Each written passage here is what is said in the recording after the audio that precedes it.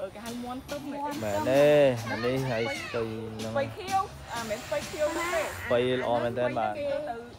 អូកាអីហ្នឹងបាទនេះល្អមែនតើស្ពៃនេះនៅក្នុងរោងតែម្ដងបាទមាន់ពីលើហ្នឹងមើលអត់មានដល់ពេលធ្វើហោងទៅអត់មាននេះទេបាទបងគាត់ដាំល្អមែនតើអត់មានប្រើថ្នាំប្រើអីទេក្នុងនេះព្រោះអីអត់មានសัตว์អីចូលកើត ដាំខែភ្លៀងក៏បានខែក្តៅក៏បានបាទ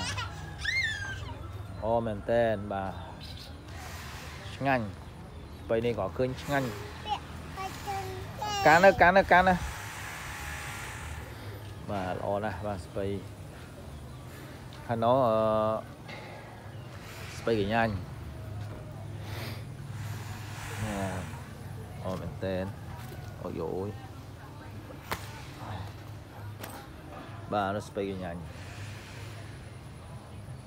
spaghetti nhanh tụi mình tụi mình tụi mình khá nọ ơi ở đây ăn mình máu ơi tụi khá nọ ở máu luôn tụi khá nọ Mà, ô, spaghetti nhanh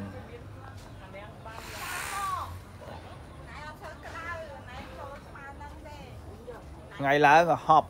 បានតែផុសបងចង់នេះបានហើយបងហប់ហប់ខ្យល់បាទបីល្អហ៎ ចូលរួចទេមេអំបៅអីហ្នឹងការពារមេអំបៅអីចូលបាទញ៉ាល្អណាស់ហឹមបាទអូមែនតើសម្រស់បន្លែធម្មជាតិស្រស់ស្អាតនៅក្នុងរោងសំណាញ់ពិតជាល្អ